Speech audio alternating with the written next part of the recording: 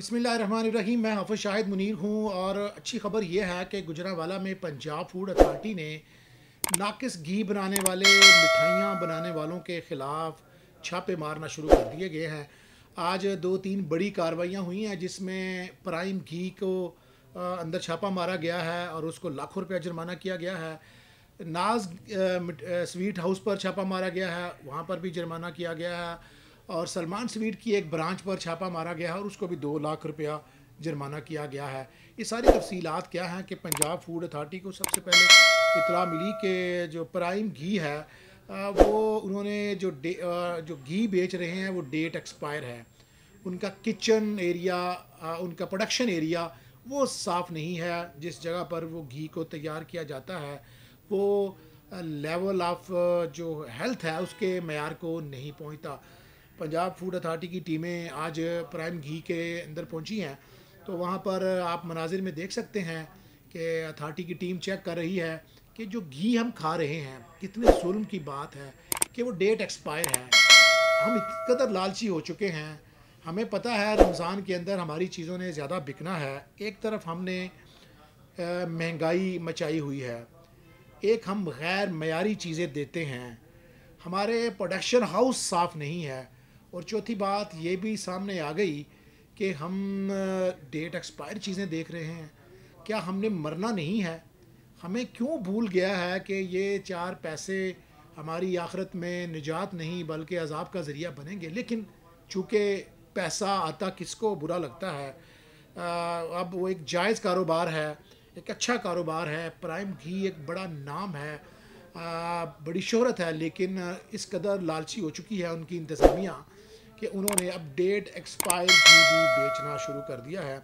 यही वजह है कि पंजाब फ़ूड अथॉरिटी जब वहाँ पर गई है तो उन्होंने डब्बा डब्बा चेक किया है कॉटन कॉटन चेक किया है, पूरा गोदाम चेक किया है, उस गोडाउन में उन्होंने देखा है, एक नहीं, दो नहीं, हज़ारों की तादाद में जो घी पड़ा हुआ है, वो गैर मीरी होने के साथ साथ डेट एक्सपायर भी है। यही वजह है कि वहाँ से 1600 टन घी न सिर्फ़ गोदाम से उठवाया गया है, बल्कि जो मार्केट में भी सप्लाई थी, रजिस्टर्ड के मुताबिक रैकड के मुताबिक, चूँकि जो उस वक़्त जो घी पकड़ा गया है वो उसकी उन्होंने प्रोडक्शन डेट देख ली है। तो अब रिकॉर्ड में पता चल गया है कि ये घी शहर की किन किन दुकानों पर किन किन सेल पॉइंट्स पर गया है। वहाँ पर फ़ूड अथॉरिटी का कहना है कि सबको मना कर दिया गया है। उस वहाँ पर जितना भी घी है वो उठाया जा रहा है और उस घी को तलब किया जाएगा। आज पंजाब फ़ूड अथॉरिटी ने प्राइम घी के जो गोदाम है, उसको सील कर दिया है और 1600 टन घी जो है वो उसको ज़ाया करने का हुक्म दिया है तल्फ करने का हुक्म दिया है और साथ साथ प्राइम घी को 10 लाख रुपया जुर्माना डाला है। ये अच्छा एक दाम है लेकिन एक 1600 मैट्रिक टन इतना घी, उसको 10 लाख जुर्माना नहीं होना चाहिए था। उसकी, उसका जो भी ज़िम्मेदार था, जिस तरह दुनिया भर में होता है कि खाने पीने की अशिया पर इदारे कॉरपोरेशन कम समझौता नहीं करती, अगर वो बंदा ऐसा मिल जाता है तो उसको जेल भेजते हैं, उसका लाइसेंस कैंसिल करते हैं। प्रोडक्शन हाउस तो बंद होता ही होता है। उसके नाम के इश्तहार निकलते हैं। उसकी पूरी तजलील की जाती है कि किसी को ये हक नहीं पहुँचता कि वो इंसानों की ज़िंदगियों के साथ खेले लेकिन पाकिस्तान चूँकि यहाँ पर मुनाफाखोरों के लिए ज़ख़ीरा अंदोज़ों के लिए जायदुलमियाद अशिया बेचने वालों के लिए गैर मैारी बेचने वालों के लिए एक जन्नत है। आ, वो पंज वो मुहावरा है कि रिश्वत लेते हुए पकड़े गए थे तो रिश्वत देकर छूट गए हैं। अगर गैर मैारी बेच रहे हैं थोड़ा सा जुर्माना हो गया है तो क्या होता है? इन लोगों को कोई फ़र्क नहीं पड़ता। जिस गोदाम को सील किया है चाहिए तो ये था पंजाब फ़ूड अथॉरिटी को कि वो सारा जो घी है वो तलब किया जाता उसकी भी वीडियो जारी की जाती। लेकिन हमें उम्मीद है कि अगर उन्होंने सील किया है तो ये यकीन रखना चाहिए कि वो घी मार्केट से उठाकर तलब किया जाएगा और उसके भी मनाजर जब हमारे पास आएँगे तो हम अपने नाजरन को पेश करेंगे। दूसरी कार्रवाई हुई है सलमान स्वीट के एक, एक जो उनका वेयर हाउस है, प्रोडक्शन हाउस है, जहाँ पर मिठाइयाँ तैयार होती हैं, जहाँ पर बाकायदा किचन होता है तो वहाँ पर जो वॉशिंग एरिया था, पंजाब फ़ूड अथॉरिटी वहाँ पर पहुँची है तो वो इंतहाई गंदा था। और मैं घी के अंदर बात करना भूल गया कि घी के अंदर एक एसड होता है, जो डालना बड़ा ज़रूरी होता है, वो उसके जब नमूने लिए गए हैं, जो बाकी घी पड़ा हुआ, उसमें एसड की मकदार कम है, जो इंसानी सेहत के लिए बड़ा ज़रूरी है। तो जुल्म ये हुआ, गैर मैारी नाकस, वो उसकी प्रोडक्शन के अंदर जो उसके इंग्रेडिएंट हैं, उसके अज्जा हैं, वो पूरे नहीं हैं और उसके साथ साथ जायदुलमियाद बेचा जा रहा था। इसी वजह से उनको दस लाख रुपया जुर्माना हुआ है।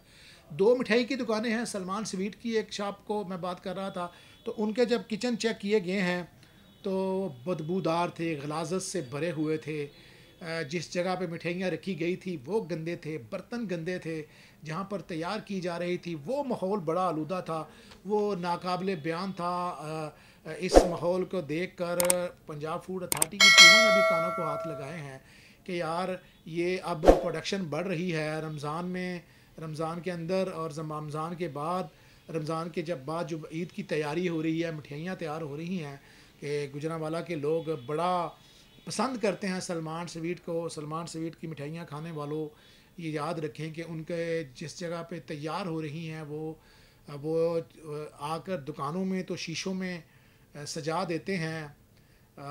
बड़ी बड़ी दुकानों में सजती हुई बड़ी अच्छी लगती हैं, लेकिन अगर वो गंदगी में, गलाजत में, गंदे किचन में गैर मैारी किचन में up to standard of health से लेवल जो है, उस पर नहीं जाके बनाते तो वो बाज़ाहिर ही खूबसूरत हैं, हम खा तो फिर वो जहर ही रहे हैं। इसलिए पंजाब फ़ूड अथॉरिटी ने सलमान स्वीट की शॉप को दो लाख रुपया उस अहमदाबाद वाली शॉप को किया है और तीसरी नाज स्वीट है, ये वैसे ही गैर रजिस्टर्ड है तो आप इसका मैार समझ सकते हैं। इसका भी किचन चेक किया गया है, और इसका भी मैार चेक किया गया है, इसके अंदर घी का, बाकी केमिकल्स का तो वो उस लेवल को नहीं पहुँचा, जो इंटरनेशनल स्टैंडर्ड है, जो पंजाब फ़ूड अथॉरिटी ने किसी भी खाने वाली चीज़ का जो मैार सेट किया हुआ है, उसके लेवल तक नहीं पहुँचा। तो आज दूसरी मिठाई की दुकान, एक घी का, घी की मिल का गोदाम को सील किया गया दो मिठाइयों की दुकानों को सील किया और पंजाब फ़ूड अथॉरिटी के जो डीजी हैं, आसम साहब, उनका कहना है कि उनके छापे तेज़ हैं। और रोज़ानों की बुनियाद पर किया जा रहा है और किसी को भी इसमें माफ़ी नहीं दिया, दी जा रही, बिला इम्तियाज़ कोई कितना भी बासर है, उसके ख़िलाफ़ कार्रवाई हो रही है। हम उम्मीद करते हैं कि जितनी भी खाने पीने की गुजरा वाला, चूँकि खाबों के नाम से मशहूर है तो हमें खाने की चीज़ें हैं जो हम बड़े शौक़ से खाते हैं। अगर वो इस लेवल पर, इस मैार पर नहीं पहुँचती तो उनके ख़िलाफ़ ज़रूर कार्रवाई होनी चाहिए। और उम्मीद करते हैं कि मज़ीद जो खाने पीने के होटल हैं, उनके ख़िलाफ़ जो गैर मैारी जो बूफे बना रहे हैं, उनके ख़िलाफ़ भी, उनके भी किचन चेक होंगे। ताकि अगर ये भी चेक किया जा सके कि लोग जो है वो सारा दिन भूखा रहने के बाद जो बूफे खाते हैं, क्या वो भी मयारी है या नहीं है?